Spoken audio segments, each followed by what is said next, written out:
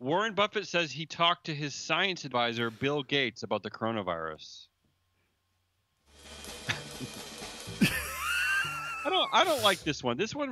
How This one smacks me. billionaires just call each like- other for science? Is this is this like when I call my neighbor and I'm like, I need I, I need some advice about like you know whether I should put milk in these cookies? Is like is that what billionaires do with one another? Like Yes, this is, and this smacks me of like what we're complaining about with like cronyism on the on the Boeing board and everything. It's like so you can't actually reach out and find a scientist. You have to just turn to your rich white billionaire male friends, right? Because everybody needs Bill a Gates duber is board not in their a science life. advisor.